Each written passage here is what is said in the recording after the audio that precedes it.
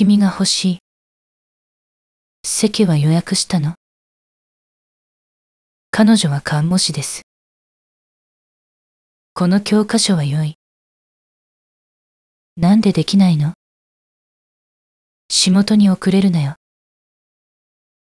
鎌倉を作りたい。教会の鐘が鳴っている。間もなく彼が来るだろう。彼女は午前7時に起きた。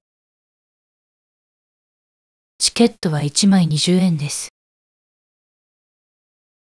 この人形、自分で作ったの。